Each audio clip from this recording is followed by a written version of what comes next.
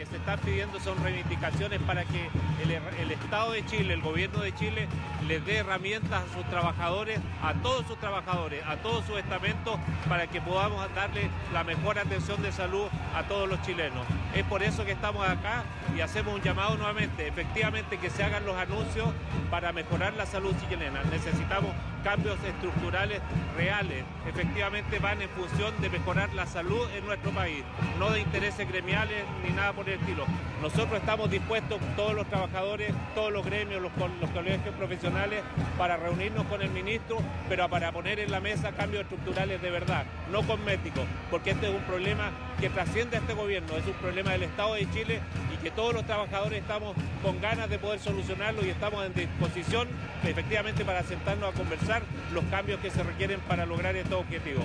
Las últimas medidas que se anunciaron días atrás por el gobierno son, en consideración de todos nosotros, son medidas parche y nos dan cambios estructurales para el que nosotros consideramos mínimo para mejorar el estándar de salud de todos los chilenos. Todos los funcionarios de la salud tenemos consensuado cuatro puntos, que el derecho a la salud sea un derecho constitucional, aumento los recursos que se dan a atención primaria aumentando a 10 mil pesos el per cápita, aumento del gasto público en salud,